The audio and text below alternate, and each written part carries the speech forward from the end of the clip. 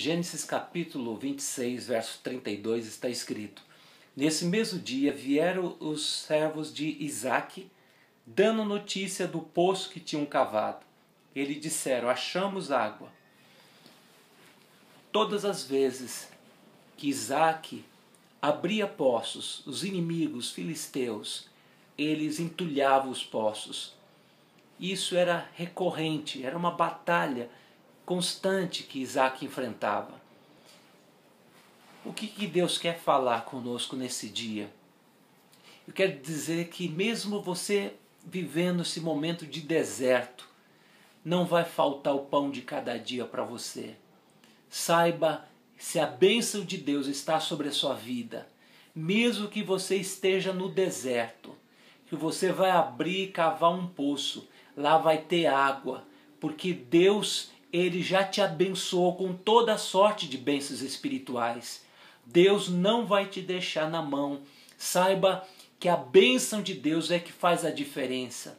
Os homens ficavam indignados porque todas as vezes que abria poços, Isaac, lá tinha água. E naquele tempo, água era como. Eh, valia muito mais do que petróleo, muito mais do que o ouro. Era muito precioso. Então, quem encontrava um, fonte de água no poço, certamente esse homem ele eh, seria um homem rico. E Isaac tinha a bênção de Deus, toda vez que ele abria poço, lá tinha água. E o inimigo se levanta agora para impedir que esses poços viessem dar prosperidade agora para Isaac. Mas eu quero dizer uma grande verdade: que o inimigo sempre se levanta para se opor à nossa felicidade, sempre ele vai se levantar para intentar eh, contra nossas vidas, para nos deixar oprimidos, tristes, para que você desista dos sonhos. Mas o Senhor fala para você: enfrente o inimigo, cave poços, e Deus vai te honrar porque você vai achar água. Agora não retroceda Deus te deu a bênção, saiba que o reino de Deus é tomado com esforço e com violência. Os que se esforçam se apoderam do reino. A tua luta não é contra carne, não é contra sangue, sim contra principados e potestade, contra forças espirituais que manipulam pessoas para vir contra a sua vida. Mas saiba que Deus é por ti, Deus pleiteia ao teu favor. Continue trabalhando, continue acreditando na, na, no projeto que Deus tem na sua vida. Saiba que você é um instrumento de Deus para abençoar muitas pessoas.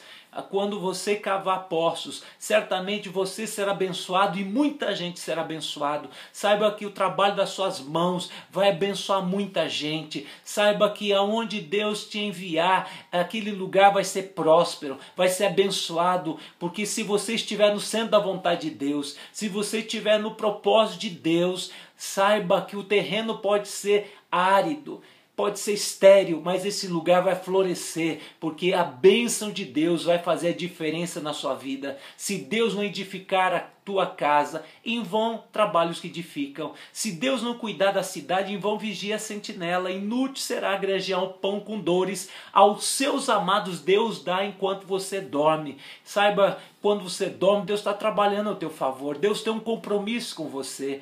Ele tem uma aliança com você. As lutas vêm, a oposição vai haver, mas o Senhor diz para você: não te mandei eu ser forte, ser corajoso, não tema, não te espante, porque o Senhor é contigo por onde quer que andares. No teu trabalho, você está sendo perseguido, o inimigo quer fechar a fonte, quer entulhar a tua fonte, mas, meu querido, no, no, no, teu trabalho, Deus vai prosperar você e os incomodados que se retirem. A presença de Deus, a glória de Deus é muito maior na tua vida. Então, resista firme na fé, em oração, e Deus vai prevalecer a glória de Deus, o reino de Deus, o governo de Deus no teu trabalho, nos teus negócios, nos teus empreendimentos. Tudo quanto você fizer, você será bem sucedido, porque você tem a bênção de Deus. Então, Tome posse, saber que você tem a bênção de Deus é uma coisa, agora se apropriar é outra. Se aproprie, Deus é contigo, Deus pleiteia o teu favor, Ele é o teu pastor. Então levanta a cabeça, marche e declare 2014 vai ser o ano do milagre na minha vida, que eu verei a provisão, o trabalho das minhas mãos